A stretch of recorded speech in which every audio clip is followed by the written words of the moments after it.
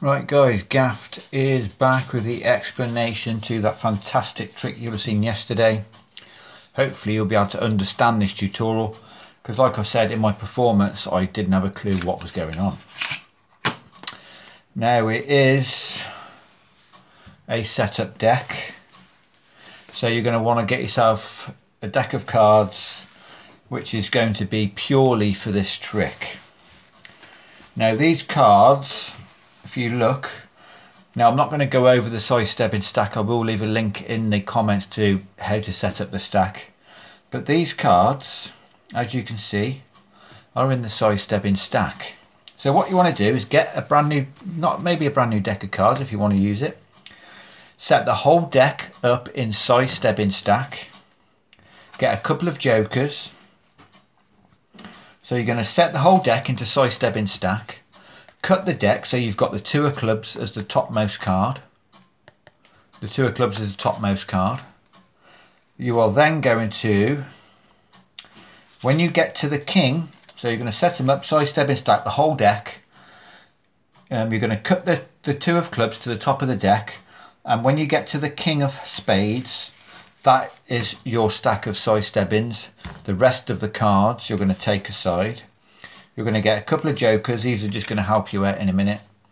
And on the back of these cards, well, you'll end up with these cards left over. Ace, two, and be three, four, five, six, seven, eight, nine, uh, ten, jack, queen, king. You will be left over with these cards from ace to king and then you'll have four cards left over, you should do. There'll be a diamond, a club, a heart and a spade in that. It should be these cards in fact. Right, on the back of these cards, now you know the Si Stebbins stack.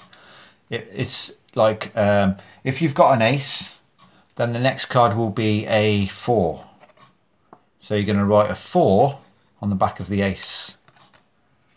The two will be a five because the Si Stebbins stack runs um, plus 3. So 2 plus 3 is 5. So you're going to write 5 on the back of the 2. The 3 plus 3 is 6. So you're going to write a 6 on the back. And you're going to do that with all of these cards.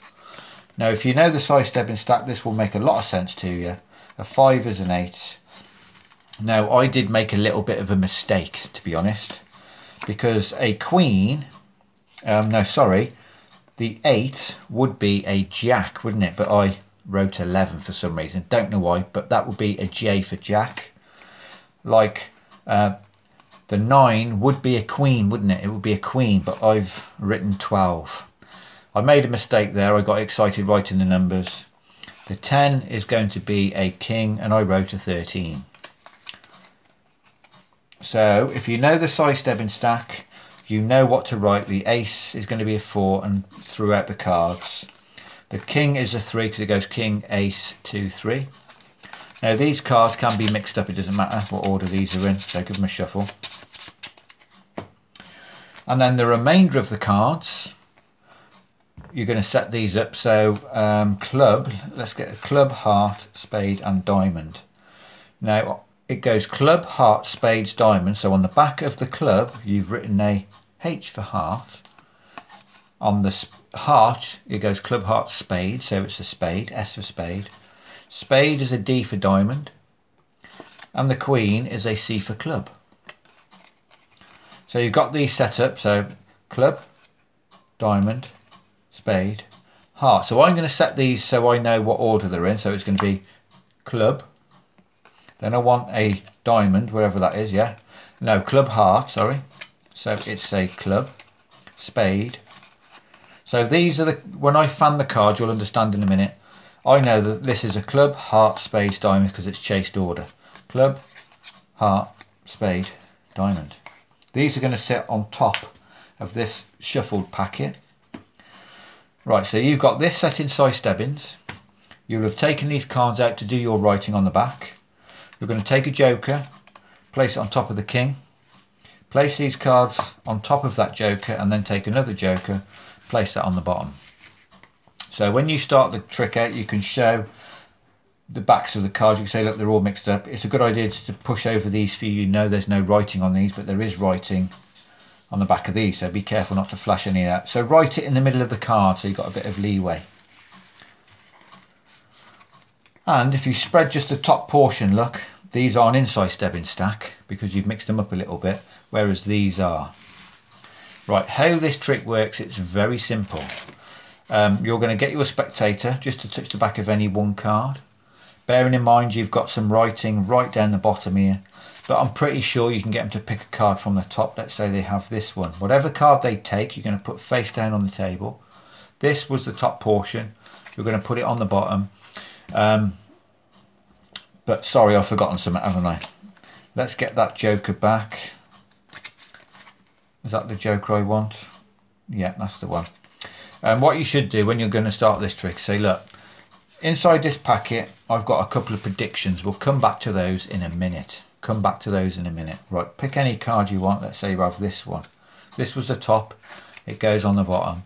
Now you're going to say, right, I'm just going to pull out my two predictions. This is a mystery card for now. So turn the packet over. Now, all you're looking at is this Jack of Clubs. You know, if you're looking at the Jack of Clubs, because it's a Si Stebbins stack, it goes Jack, Queen, King, Ace. So you know this is an Ace. It's a club, so you know the suits goes club, heart, spades, diamond. You know this card is the Ace of Hearts.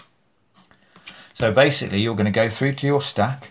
So you're going to, I'm going to call out a couple of predictions. As soon as you get to this first Joker, you know this is a club, this is a heart, this is a spade, this is a diamond. You know this is the ace of hearts. So you're going to go through and you're going to find your joker and you're going to go club, heart. Right, this is my first one. Now, all you're going to do is pull out the jack. You're just going to take the jack of spades out because the jack is the one. So you're going to take these two cards, let's say, look, these are my two predictions. So now this next bit is a little bit of misdirection. You're going to make them think that this card is either going to be the Jack of clubs or the three of spades. I mean, like in my performance, I said, whatever you choose is the one we'll use. So let's say they say it's the Jack of clubs. This is going to freak you out. Oh crap, it's the Ace of Hearts. But when I said these were a prediction, I didn't say the faces. Now this is the kicker when you turn them over and show that this is a heart and this is a 1. See what I mean? This should be an A for ace. And there is the ace of hearts, or for you, ace of hearts. Voila, simple. Right, let me just put the trick back together. All you're going to do is find this um, joker you're going to put this card, so it goes club, heart, you know it goes there. Um, this card can literally go anywhere in that stack as long as it's somewhere in your stack. That's fine, good to go. Put these on top of these. Find the two of clubs, wherever the two of clubs is. Cut it back to the bottom. And now you're good to go again. Right, let me just show you something crazy. I've got a couple of predictions in here. We'll come back to those in a minute. But first I want you to pick a card. So just pick, just touch the back of any one card you want. So you want this one. Remember this was the top, it goes on the bottom. Right, I'm just going to pull out my two prediction cards. You're looking at a spade. Club, heart, spades, diamond. This is a diamond, so you're going to go through, find your first joker. You know this goes club, heart, spade. Right, I'm going to go for this card, and all you'll do is pull out the other three. Oh, I'm going to go for these two. These are my two predictions. So you can either have the three of spades or the nine of diamonds, your choice, whatever you use. Whatever you choose, we'll use. Oh shit, it's a six of diamonds. But I never said it was a faces that they were a prediction because this is a six and this is a diamond. Six of diamonds. So I hope that's a little bit clearer for you guys than the one I watched. Right, let's get this back. Where's that joker? First joker. Take the diamond. I know it goes club, heart, spade. So the diamond goes on the bottom. So it's club, heart, spade, diamond. Then you've got your other stack of cards. So right, let's put that in, sorry. Where is it? Club, heart, spades, diamond. So this six can go anywhere after the D. Find that two of clubs. cut it to the bottom and you're good to go again. So that's how the trick works guys. I've got no idea what this trick is called, who developed it or anything. It's a fantastic trick. Like I say, the tutorial was an absolute pain in the neck to watch. I do hope that was clear enough. Like I say, there will be a link in the comments to the Si Stebbins stack, but you only need to you need to stack the whole deck to start with, and then when you take the stack back, cut the two of clubs to the top of the deck, find, go up to the king of spades, put a joker there, then the rest of the cards you're going to write the numbers, the corresponding numbers. I mean, if this is a 10, that's a 7 because it goes up in three. So if that's a four, you add three to it, that would be a seven. Very simple. And then the final four cards, club, heart, spades, diamonds, and rest of your stack. That goes on the top. Put all this back into the box and you've got yourself one fantastic little trick. So make sure to smash the like button, subscribe to the Gaff Academy, post notifications on, and just a little tip, don't write the number one for the ace, write an ace. Don't write 13 for the king like the gaffer, what a cock up. Write king. I'm going to have to find some Copag cards because I'm not happy with the numbers 1, 11, 12, 13. You don't find 1, 11, 12, 13 in cards. It's ace, jack, queen, king. So make sure not to make a mistake like that. And uh, we'll see you tomorrow. Cheers.